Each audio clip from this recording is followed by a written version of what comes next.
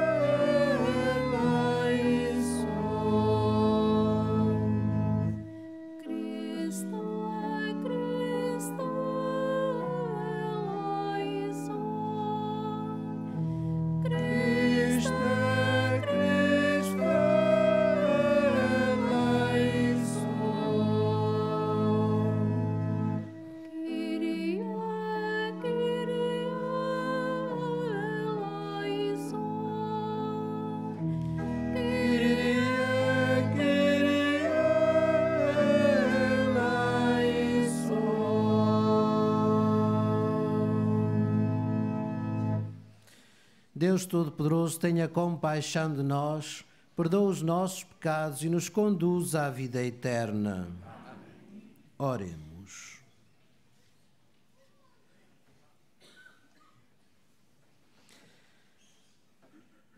Deus Todo-Poderoso e Eterno,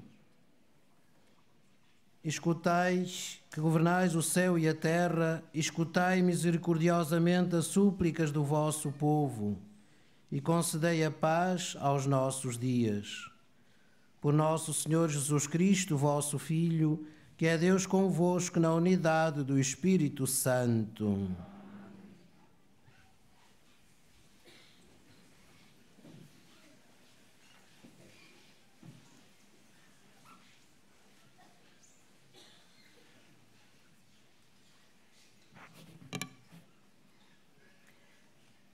Leitura do primeiro livro de Samuel. Naqueles dias, Davi foi levado à presença do rei Saul e disse-lhe: Ninguém desanime por causa de Golias. O teu servo irá lutar contra esse filisteu. Mas Saul respondeu-lhe: Não podes avançar contra esse filisteu para o combateres, porque não passas de um rapazinho ao passo que ele é homem de guerra desde a sua juventude. Davi respondeu a Saul: O Senhor que me livrou das garras do leão e do urso, me livrará das mãos desse filisteu. Então Saul disse a Davi: Vai, e que o Senhor esteja contigo. Davi tomou o seu cajado nas mãos, escolheu na torrente cinco pedras bem lisas e meteu-as no seu surrão de pastor. Depois, com a funda na mão, avançou contra o filisteu. O filisteu foi-se aproximando pouco a pouco de Davi, levando à frente o seu escudeiro. Quando olhou e viu Davi, desprezou, porque era um rapaz novo, era loiro e de boa aparência. Disse então a Davi: Sou porventura algum cão para vires contra mim de pau na mão? E amaldiçoou Davi em nome dos seus deuses. E acrescentou: Vem ao meu encontro, e eu, te, eu darei a tua carne às aves do céu e aos animais do campo. Mas Davi respondeu ao filisteu: Tu vens contra mim armado de espada, lança e azagaia e eu vou contra ti, em nome do Senhor do universo, o Deus dos exércitos de Israel, que tu desafiaste. O Senhor vai entregar-te hoje mesmo nas minhas mãos. Eu te matarei e te cortarei a cabeça, e darei hoje o teu cadáver e os cadáveres dos filisteus às aves do céu e aos animais selvagens. Então saberá toda a terra que há um Deus em Israel, e toda a gente há de ver que não é pela espada ou pela lança que o Senhor concede a salvação. Porque esta guerra é do Senhor, e ele vos entregará em nossas mãos. Quando o filisteu avançou e veio ao encontro de Davi, também este correu velozmente contra o filisteu. Meteu a mão no surrão, tirou uma pedra, arremessou-a com a funda e atingiu o filisteu na fronte. A pedra cravou-se-lhe na testa e ele caiu de bruços no chão. Foi assim, com uma funda e uma pedra, que Davi triunfou do filisteu e o feriu mortalmente, sem ter uma espada na mão. Davi correu para o filisteu e parou junto dele. Tirou-lhe a espada da bainha e acabou de o matar, cortando-lhe a cabeça. Ao verem morto o seu, o seu herói, os filisteus puseram-se em fuga. Palavra do Senhor. Graças a Deus.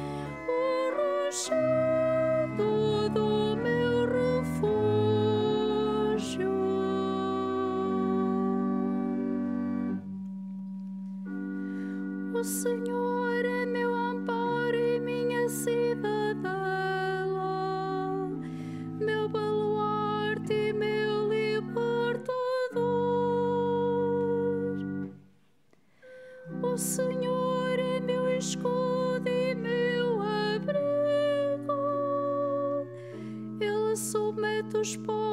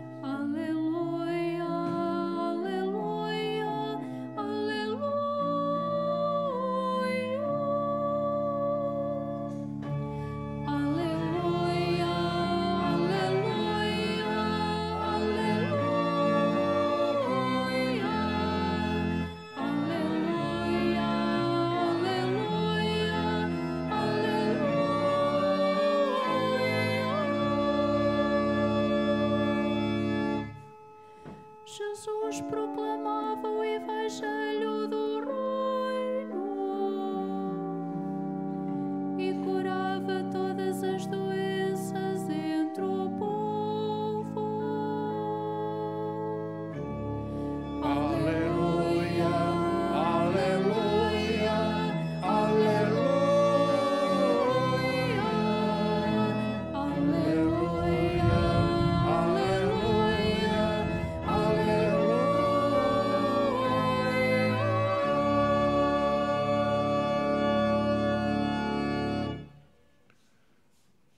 O Senhor esteja convosco. Ele está no meio de nós.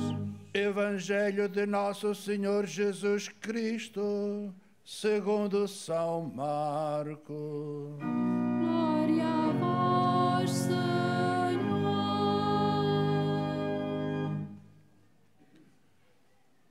Jesus entrou de novo na sinagoga, onde estava um homem com uma das mãos atrofiada.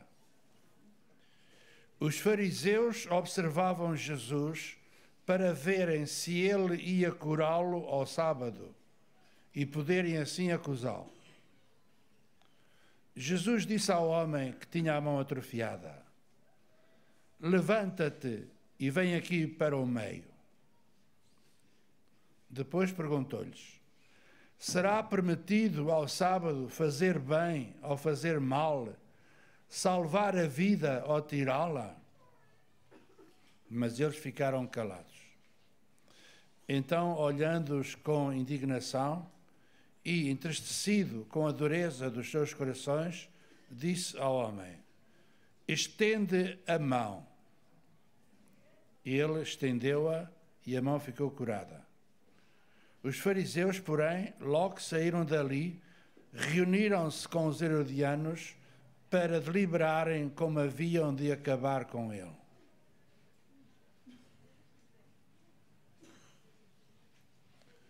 Palavra da salvação. Glória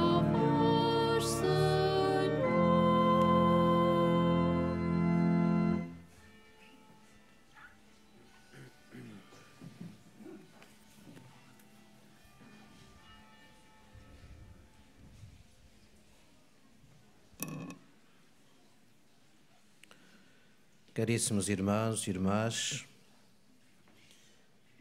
encontramos-nos neste lugar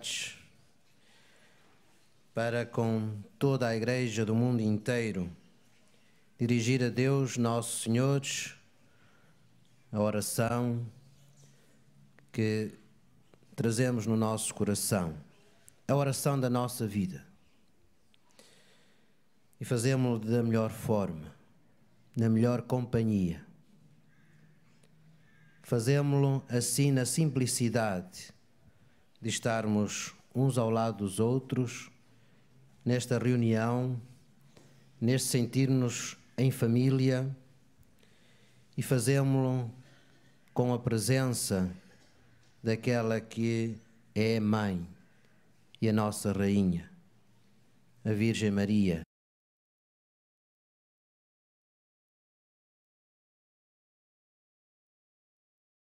Obedeceres à vontade de Jesus Cristo, Filho de Maria. É este o alcance da, da vida e da ação cristã. Obedeceres à vontade do Pai para realizares o bem que Ele mesmo realizou em favores de toda a humanidade, especialmente dos mais fracos, dos doentes, dos pecadores. Caros irmãos e irmãs, esta passagem do Evangelho que acabamos de escutar é, diz-nos que a ação de Jesus, por vezes, é controversa para quem não acredita ou não quer acreditar. A presença de Jesus gera sempre, ou muitas vezes, uma certa tensão, hum, principalmente para aqueles que são os detentores dos poderes deste mundo. Assim aconteceu no tempo de Jesus, continua a acontecer no nosso tempo. Mas o que é certo é que a presença e a ação de Jesus é sempre em benefício do homem. Jesus vem para curar as feridas da humanidade. Jesus vem para perdoar, para dar paz, para pacificar os corações de todos os homens que se sentem inquietos, que se sentem maltratados pelo pecado. Irmãos e irmãs, as palavras de Jesus do Evangelho, levanta-te e vem para o, aqui para o meio. Em muitas outras cenas de cura, vemos repetida esta preocupação de Jesus: colocar no centro a pessoa humana, naquilo que ela é, na totalidade do, do ser humano, que é tudo obra de Deus. Quando Jesus se dirige ao homem com uma das mãos atrofiadas, é para ele que ocupa o centro geográfico da sinagoga, pois claramente não se trata apenas de uma questão de natureza espacial.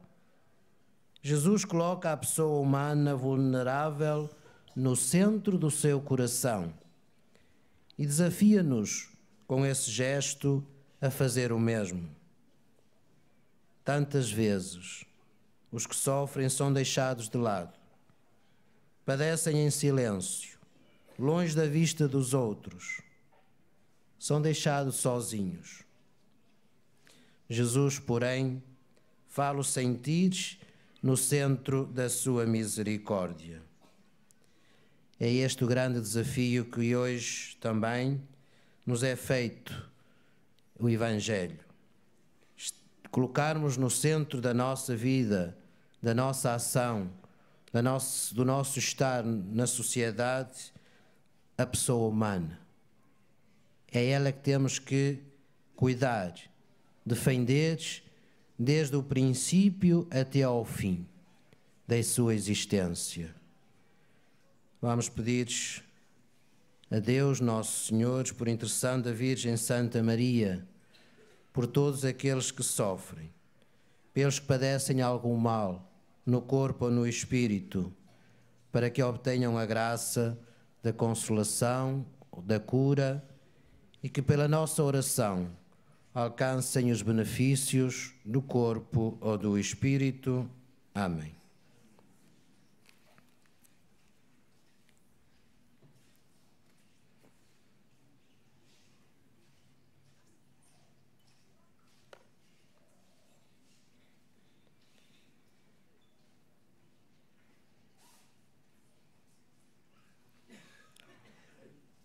No quinto dia do oitavário de oração pela unidade dos cristãos, dirijamos a nossa oração a Deus Pai.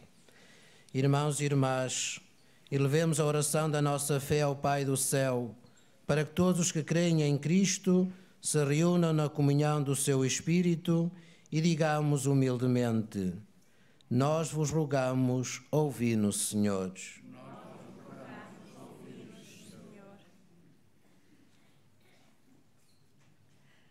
para que o Senhor que nos criou à sua imagem faça cair os muros que separam os cristãos e os tornam desconhecidos uns dos outros, oremos. Nós vos rogamos, ouvi-nos, Senhor. Para que o Pai que enviou o Filho ao mundo para fazer dos homens todos uma só família, livre da discórdia, os membros do corpo da Santa Igreja de Deus, oremos. Nós vos. Para que Deus, que não permitiu que no Calvário fosse rasgada a túnica do seu Filho, cure as feridas das nossas divisões e nos dê unidade, oremos. Nós vos rogamos, ouvi-nos, Senhor. Para que o Senhor, que é rico em misericórdia, leve todas as igrejas e os seus fiéis a buscar os caminhos do perdão mútuo e da unidade, oremos. Nós vos rogamos, ouvi-nos. Para que todos os que têm o nome de cristãos cheguem depressa à perfeita unidade, pela qual Jesus orou ao Pai na hora da paixão, oremos. Nós vos rogamos, ouvi-nos, Senhor. Para que o Senhor, que é Deus Santo e fiel, nos ilumine com a luz do seu Espírito, para encontrarmos os caminhos da unidade, oremos. Nós vos rogamos, ouvi-nos, Senhor. Senhores, que no sangue do vosso Filho realizastes a nova e eterna aliança, fazei que todos os vossos fiéis confessem unicamente uma só fé e juntos proclamem um só louvor. Por Cristo nosso Senhor. Bendito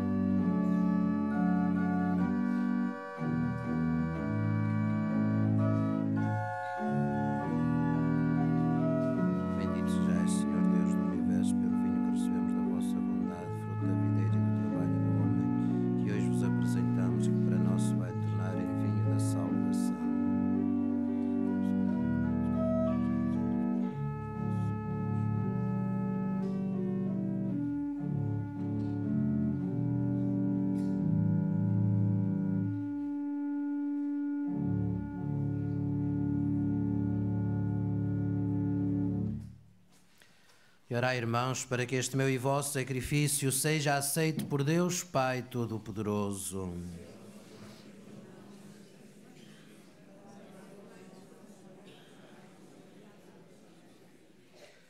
Concedei-nos, Senhores, a graça de participar dignamente nestes mistérios, pois todas as vezes que celebramos o memorial deste sacrifício, realiza-se a obra da nossa redenção por nosso Senhor Jesus Cristo, vosso Filho, que é Deus convosco na unidade do Espírito Santo. O Senhor esteja convosco. Corações ao alto. Demos graças ao Senhor nosso Deus. Senhor Pai Santo, Deus eterno e omnipotente, é verdadeiramente nosso dever, é nossa salvação dar-vos graça sempre em toda a parte por Cristo nosso Senhor. Nele quiseste restaurar todas as coisas e a todos destes a graça de participar da sua plenitude. Sendo ele de condição divina, aniquilou-se a si próprio e pelo sangue derramado na cruz deu a paz a todo o universo. Por isso foi exaltado sobre todas as criaturas e tornou-se para todos os que lhe obedecem fonte de salvação eterna. Por ele, com os anjos e os santos e todos os coros celestes, proclamamos a vossa glória, cantando numa só voz.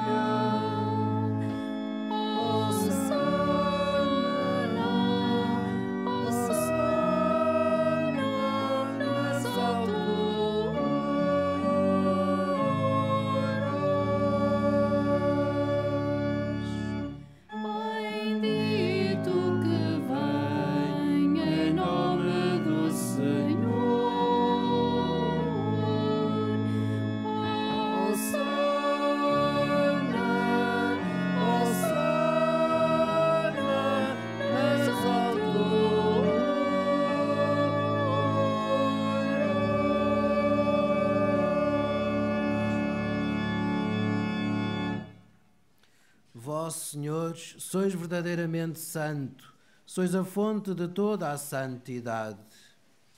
Santificai estes dons, derramando sobre eles o vosso Espírito, de modo que se convertam para nós no corpo e sangue de nosso Senhor Jesus Cristo.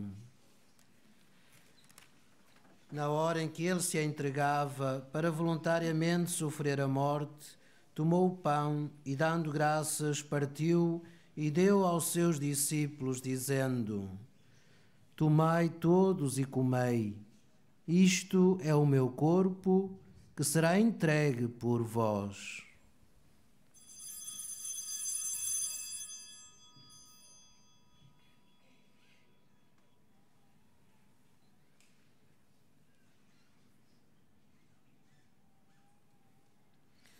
De igual modo, no fim da ceia, tomou o cálice e, dando graças, deu aos seus discípulos, dizendo: Tomai todos e bebei.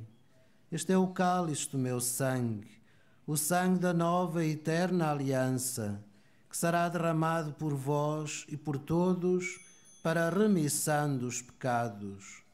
Fazei isto em memória de mim.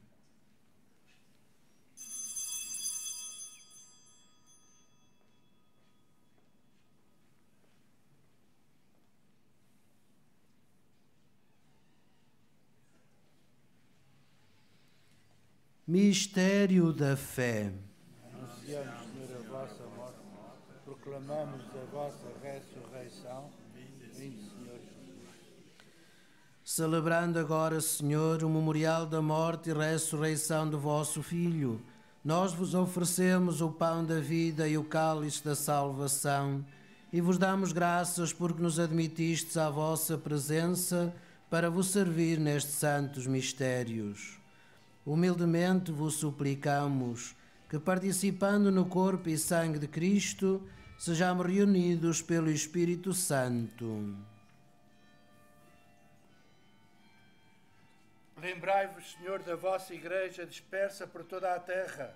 Tornai-a perfeita na caridade, em comunhão com o Papa Francisco, o nosso Bispo António e todos aqueles que estão ao serviço do vosso povo.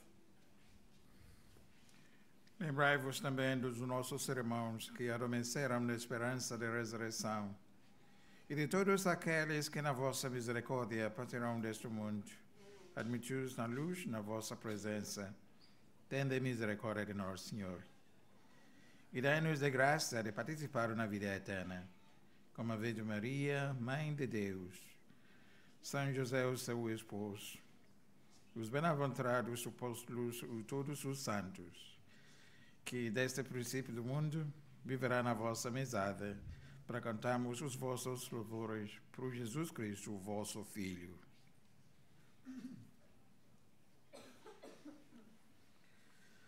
Por Cristo, com Cristo e em Cristo, a vós, Deus Pai Todo-Poderoso, na unidade do Espírito Santo, toda a honra e toda a glória, agora e para sempre.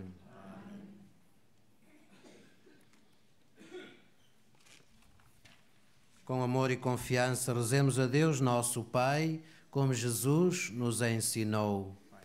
Pai nosso, que estais nos céus, santificado seja o vosso nome. Venha a nós o vosso reino. Seja feita a vossa vontade, assim na terra como no céu. O pão nosso de cada dia nos dai hoje. Perdoai-nos as nossas ofensas, assim como nós perdoamos a quem nos tem ofendido e não nos deixeis cair em tentação, mas livrai-nos do mal. Livrai-nos de todo o mal, Senhor, e dai ao mundo a paz em nossos dias, para que, ajudados pela vossa misericórdia, sejamos sempre livres do pecado e de toda a perturbação, enquanto esperamos a vinda gloriosa de Jesus Cristo, nosso Salvador. Senhor Jesus Cristo, que disseste aos vossos apóstolos: Deixo-vos a paz, dou-vos a minha paz. Não olheis aos nossos pecados, mas à fé da vossa Igreja, e dai-lhe a união e a paz, segundo a vossa vontade. Vós que sois Deus com o Pai, na unidade do Espírito Santo. Amém. A paz do Senhor esteja sempre convosco. Amém. Saudai-vos na paz de Cristo. Paz de Cristo.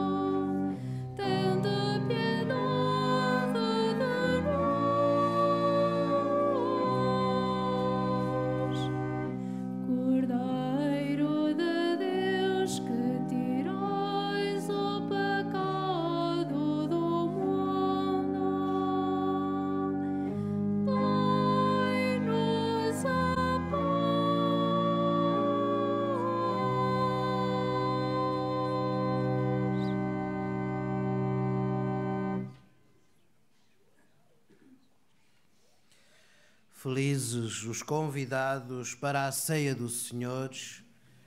Eis o Cordeiro de Deus que tira o pecado do mundo. Senhor, não sou digno que entreis na minha morada, mas dizei uma só palavra e eu serei salvo.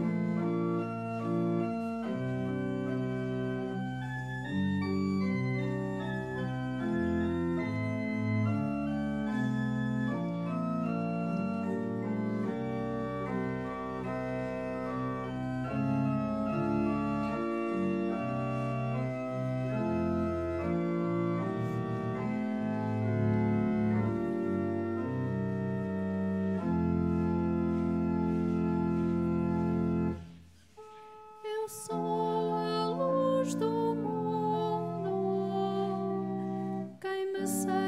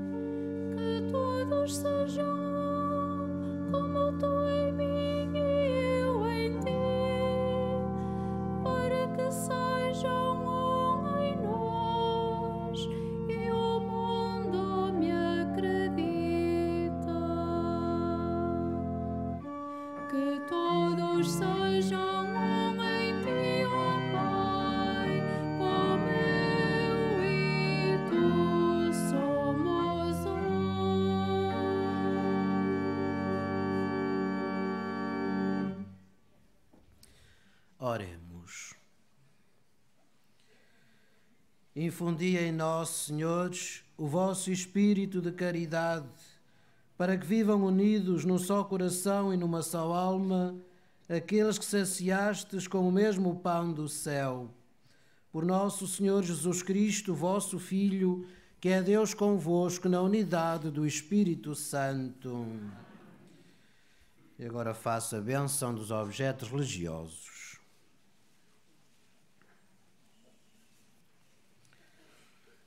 Bendito sejais, senhores, fonte e origem de todas as bênçãos, que sempre promoveis a piedade sincera dos vossos fiéis. Por intercessão da bem-aventurada Virgem Maria e dos santos Francisco e Jacinta Marto, assisti benignamente os vossos servos e fazei que, levando consigo estes símbolos de fé e piedade, se vão transformando à imagem do vosso Filho, Ele que é Deus convosco, na unidade do Espírito Santo. O Senhor esteja convosco. Abençoe-vos Deus Todo-Poderoso, Pai, Filho e Espírito Santo. Na alegria de termos esta companhia segura da Virgem Maria, ide em paz e que o Senhor vos acompanhe.